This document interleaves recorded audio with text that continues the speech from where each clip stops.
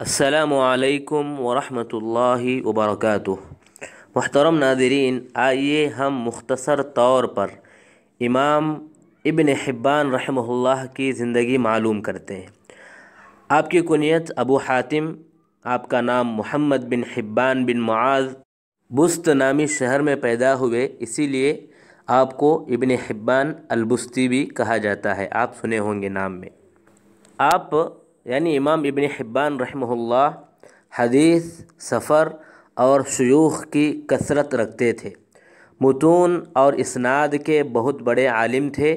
علوم حدیث میں وہ کارہائے نمایاں انجام دیے جن سے دوسرے حضرات عاجز رہے۔ شاش سے اسکندریہ تک تمام علاقوں کا سفر کیا اور بڑے علماء اور ائمہ سے آپ نے ملاقات کی۔ امام حاکم رحمہ اللہ جو آپ کے شاگرد ہیں، وہ فرماتے ہیں کہ امام ابن حبان رحمہ اللہ لغت، فقہ، حدیث اور وعظ کے علوم کا خزانہ تھے۔ بڑے ذہین اور ذی عقل اور عالی اسناد کے مالک تھے۔ علامہ ابن حبان رحمہ اللہ نے اپنے کئی مشائق سے جو علم حاصل کیا تو خود اپنی ایک کتاب میں التقاسیم والانواع میں یوں لکھتے ہیں، حسین بن ادریس ہروی ابو خلیفہ جہمی عبد الرحمن نسائی، عمران بن موسیٰ، حسن بن سفیان، ابو یعلا موسلی احمد بن حسن صوفی، جعفر بن احمد، ابو بکر ابن خزیمہ، اس طرح کے بڑے بڑے ائمہ آپ کے اساتذہ میں شامل ہیں۔ اور یہ بھی لکھتے ہیں کہ آپ نے علامہ ابن خزیمہ رحمہ اللہ کے ساتھ عرصہ دراز تک رہے، ان سے شرف تلمذ حاصل کیا اور حدیث اور فرائض کی سمجھ حاصل کی۔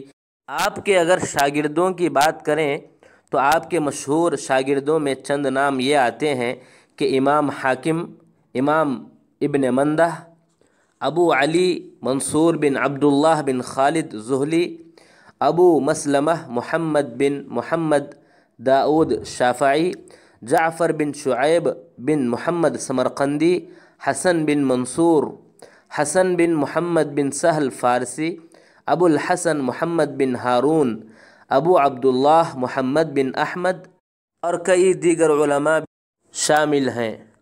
امام ابن حبان رحمہ اللہ اپنے اسفار کے قیمتی اوقات کو بالکل ضائع نہیں کرتے تھے، بلکہ وہ اپنے ہدف پر وقت کو خرچ کرتے۔ حالانکہ دوسرے لوگوں کی حالت یہ ہوتی کہ وہ لوگ تنگ ہو جاتے تھے۔ لیکن امام ابن حبان رحمہ اللہ ان کے ماتھے پر شکن بھی نہیں آتی تھی۔ حتیٰ کہ بعض سوانح نگار جو ہوتے ہیں، آپ کی زندگی کے بارے میں لکھتے ہوئے یوں فرماتے ہیں کہ ابن حبان رحمہ اللہ اپنے راستے پر چلتے رہتے لوگ تھک جاتے تھے، تنگ ہو جاتے تھے، لیکن آپ کبھی تنگ نہ ہوتے۔ بلکہ یہ تکالیف آپ کو تحصیل علم کا اور حریص بنا دیتی۔ اور وہ اپنے استاد کے ہر قسم کے موڈ، رضا، ناراضگی سب جو ہے اپنے درس میں نوٹ کیا کرتے تھے اور اس میں فائدہ اٹھایا کرتے تھے۔ ابن حبان رحمہ اللہ کی زندگی کوئی بہت آسان نہ تھی۔ یہ عظیم محدث جو فقہ، طب، نجوم، کلام اور دیگر علمی فنون کے ماہر تھے اور الحمدللہ آپ وعظ بھی کیا کرتے تھے۔ امام ابن حبان رحمہ اللہ طویل عرصہ سمرقند کے قاضی رہے۔ اسی طرح نساء میں بھی آپ قاضی بنے رہے اور نیساپور کے تین مرتبہ قاضی رہے۔ پھر تیسری مرتبہ اس میں خانقاہ بنوائی، جہاں ان کی تصنیفات ان کے شاگردوں نے پڑھی۔ پھر یہ اپنے وطن واپس آ گئے، چنانچہ شاگرد سفر کر کے ان سے علم حاصل کرنے وہاں آنے لگے۔ ابن حبان رحمہ اللہ بڑے بہادر اور جری انسان تھے۔ اپنی رائے کے اظہار میں مصلحت پسندی سے کام نہیں لیتے تھے، لیکن اس کا نقصان یہ ہوا کہ کینہ پروروں کی شرارت سے آپ محفوظ نہ رہ سکے۔ پھر سجستان سے نکالے گئے، حتیٰ کہ یہاں تک منقول ہے کہ لوگ ان پر حملہ آور ہوئے اور قریب تھا کہ موقع پا کر قتل کر دیتے۔ ابو اسماعیل عبداللہ بن محمد حروی کہتے ہیں کہ میں نے یحییٰ بن عمار سے ابن حبان رحمہ اللہ کے بارے میں پوچھا تو انہوں نے کہا، میں ان کو کیسے نہیں جانتا ہوں؟ میں اچھی طرح جانتا ہوں اور ہم ہی نے انہیں سجستان سے نکالا۔ وہ اللہ تعالیٰ کی تعریف، حد کا انکار کرتے تھے۔ ان کے پاس علم بہت زیادہ تھا، لیکن دین زیادہ نہ تھا۔ اور پھر ایک مرتبہ لوگ ان کے پیچھے ایسے پڑے کہ وہ جہاں کہیں ملے ان کو پکڑ لیں۔ کیونکہ ابن حبان رحمہ اللہ نے کہا تھا کہ ان نبوت العلم والعمل۔ نبوت علم اور عمل ہے۔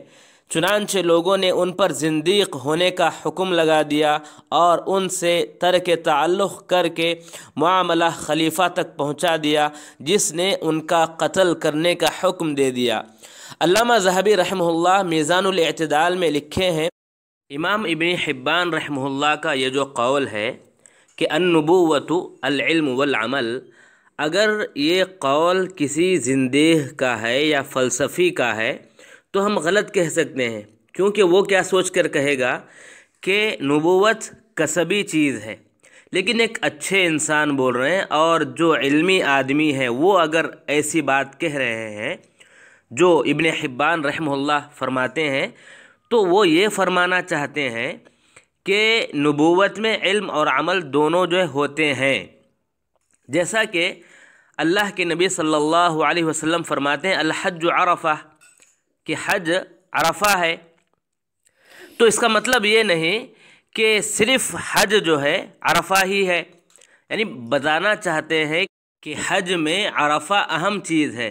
اسی طرح نبوت میں علم اور عمل یہ اہم چیز ہیں۔ یہ بتانا چاہتے ہیں۔ واللہ عالم بالصواب۔ اس طرح امام ذہبی رحمہ اللہ اپنی کتاب میں ذکر کرتے ہیں۔ امام ابن حبان رحمہ اللہ کے بارے میں عبداللہ بن محمد فرماتے ہیں کہ ابو حاتم ابن حبان رحمہ اللہ طویل عرصے تک سمرقند کے قاضی بنے رہے۔ دین کے فقہ اور احادیث کے حافظ تھے۔ علم اور فضل کی بنا پر دنیا بھر میں مشہور تھے۔ طب، فلکیات اور دیگر فنون کے ماہر تھے۔ کتاب المسند الصحیح، التاریخ، الضعفاء اور کئی قسم کی کتابیں آپ نے لکھی تھیں۔ امام حاکم رحمہ اللہ یوں فرماتے ہیں کہ ابو حاتم ابن حبان رحمہ اللہ کا گھر ہے جس میں ان کے اصحاب کا مدرسہ قائم ہے اور وہاں مسافر طلبہ رہتے ہیں اور علم حدیث اور فقہ حاصل کرتے ہیں۔ اور وہاں ایک بکس بھی موجود ہے جن میں سے وہ نقود نکال کر خرچ کرتے ہیں۔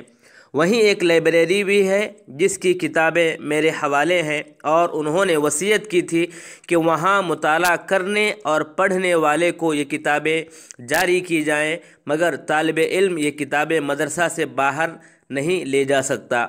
امام ابن حبان رحمہ اللہ کی اگر ہم کتابوں کو معلوم کریں تو آپ کی کئی کتابیں ہیں۔ مثلا کتاب الصحابہ، التابعین، اتباع التابعین تبع الاتباع تباع التبع الفصل بين النقلة علل أوهام أصحاب التواريخ روضة العقلاء علل حديث الزهري علل حديث مالك علل مناقب أبي حنيفة كتاب الثقات